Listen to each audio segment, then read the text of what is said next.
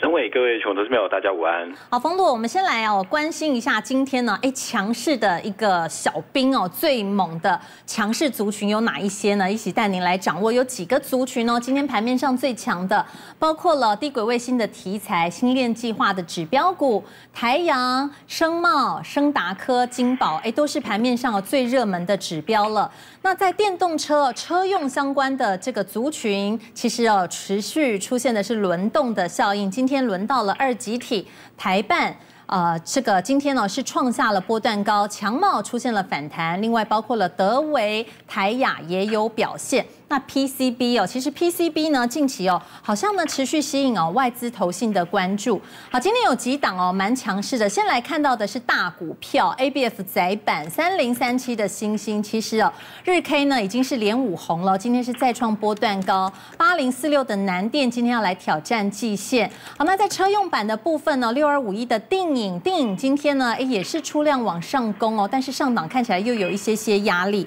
好，另外呢还有哪一些哦？哎，就是解封概念股喽。今天呢，包括了旅行社的一个概念股，山富、五福、凤凰、雄狮这些表现呢，都是强过大盘的。只是解封概念哦，旅行社呢这个股价强，但是航空双雄股价却是疲弱。航运类股指数哦，在这个午盘呢是再度出现了一波压回，航运指数呢在目前来到了金低。要来请教封路哦，午盘呢看起来涌现一。普卖压为什么这么说？因为我们看到贵买指数，贵买指数哦，在目前呢也是来到了金低，有一些要早盘强势的股票拉回了，像是三七零七的汉磊，今天创波段高一百四十三点五块钱，但是刚才股价却是一度的翻黑。好，你怎么来看今天的个股表现？嗯，好，我想其实，在昨天晚上美国股市这样大涨的情况，台北股市既然是这样子开个小高就立刻翻黑，而表示来到周五的时候追价的一个买盘并不高。再来就是昨天的一个筹码变化，大家都看到昨天投信连三十六买之后，第一次出现卖超，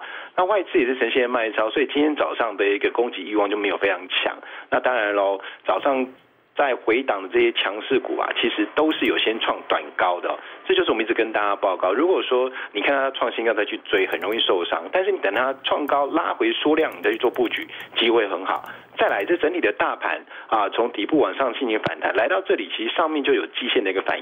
而美国股市昨天也是全部都站上季线，但是季线趋势是向下，所以市场大概也在猜想啊，啊，在周五的一个前夕，那美股就算再涨也有限。所以台北股市今天转转而就相对来讲比较保守。那融资的部分，昨天融资啊，上市又增加了，上柜也增加，所以这短线上的融资就会造成今天的一个筹码混乱，趁着利多，很多股票在做修正。好，嗯，那这是整个大盘的一个结构。那我们刚刚曾伟在提的这些族群里面，我们先来看第一个是最近很热的三七零七的汉磊。好。汉磊其实你看它股价过季线之后，其实你往左边一看哦，嗯，它离高点一百七十三点五还有一大段距离，对不对？是。好，那但是它创了短波的高点，请大家看哦，它从这一波跌破一百元开始反弹，来到这里已经将近了多少？四成的空间非常大。那既然你面临到去年十一月到。到十二月这两个月的大头部区，再加上，请大家注意，它最近的私募线真的价格是九十元哦。那这边的一个部分离它的一个私募线的价格比较高，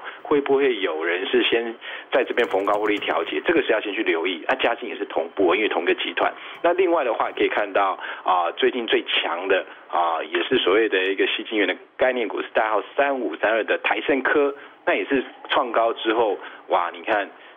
投信连卖三天了哦，嗯，那投信前面买了一大堆，今天连卖，那当然股价市场上看到投信在卖，就跟着一起杀。好，那包括像六一八二的一个合金也是被连续带动，因为外投信啊连买四天之后，昨天开始卖。但这整个族群，我会认为说，因为整体族群来看的话，以三五三二，它基本上应该还是属于修正本一比啊，毕竟它的一个去年获利并不是太高哦，那三块多的一个股价的的一个获利股价。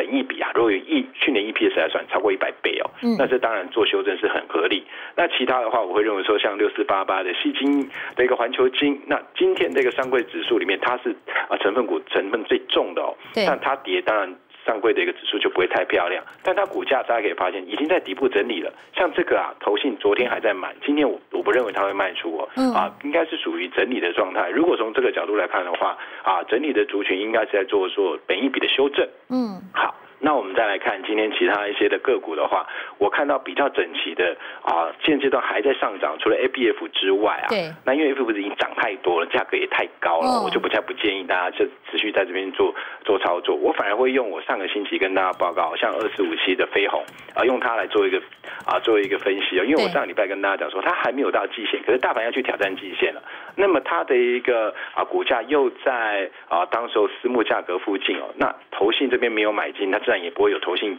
季底结账的一个卖压，那我觉得说整个充电桩电动车的一个题材，再加上储能概念啊，值得投资人做注意。当时在季线之下哦，那连续上涨，那来到这这边的话，又面临到啊这个三啊去年一月份高点的一个压力，就不用过度的去做追加。但长线仍然是看好，可是从它来去引申的就是车电族群，因为特斯拉也站上了千元，所以我在这里面先帮大家来看那。特斯拉的概念股大家都已经很熟悉了，像我们先前跟大家讲过系统电啊，那中探针，还有就像啊这个三零九二的宏硕，这些都是之前跟大家报告过，那表现也都不错。那我们要帮大家再找一个位阶相对比较低，而它是国内的一个首选，这个是代号六一二九的普城。为什么要特别说普城啊？因为大家都知道红海的啊，今天是一个很重要的日子哦。那因为它今天它的一个啊这个啊 M I H 联盟伙伴大会暨海外招商会是今天哦，对，它已经有公告，十月十八号。就可以开始啊，红海科技的时候就可以开放啊，它的一个 Model C 的预定，这是百万级别以内的电动车哦。我相信红海制造绝对是什么高 CP 值好，然后再来，今天是这样的一个日子，这个是啊有请了两百到两百五十家的会员参与这个实体生活，就 M I H 这个大会啊，同时他要直播创联全球两千三百家的 M I H。的一个会员，请大家注意，已经来到两千三百家了。那共同要搭建 EV 开放的生态系。那我想啊，如果说我们上礼拜先跟大家在讲的飞鸿啊，如果说可以照这样的逻辑的话，那我认为普成机会就很大，因为大家都知道啊，红海集团进行垂直整合，它有一个很特大特性啊，它就肥水不落外人田。那集团中最早切入车店的，应该最有机会，而普成就是集团中最早有接触车店，而且有认证过。那我们先来看一下它的一个啊营收成。增长的一个部分的话，从基本面先跟大家来做一个报告。去年其实是啊，普成算一个大丰收年，因为过往啊，它在车用影音的部分啊的一个啊相关的货相对有限。但是啊，从红海要切入到 N H 之后，它就受到了一个瞩目，因为它是最早切入车电的，所以它去年的营收获利已经正式的转亏为盈。去年啊，全年赚了零点六三元，而且啊，第四季是呈现一个啊单年度最高赚零点二元。我觉得这个是一相相当不错的表现哦，这个是。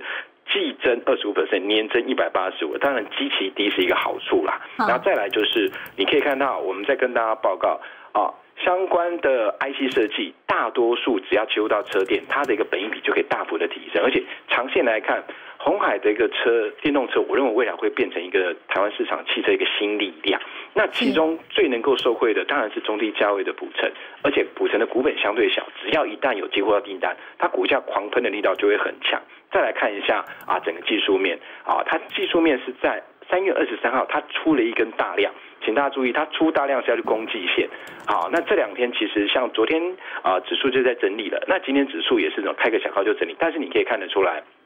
它这一根三月二十三号的一个长红大量下缘并没有被跌破，而且它同步还站上月线。那这边如果季线在这站稳，再一次出量，它就可以去挑战二月二十四号这一根啊，这所谓二月四号是是吧？俄俄罗斯跟乌克兰的一个乌克兰的开战日哦，这一根过去之后，整个大底部就完成。我倒是会认为，投资朋友如果用一个中长线的布局操作思维的话，啊，像我们过去跟大家讲，提前卡位，提前布局。早上跟大家报告的三副旅游也是一样。啊，未来要解封，然后你看到新加坡，先看到日本，那当然找微找最受惠的公司，所以我会建议投资朋友可以开始留意哦，六一二九的普测。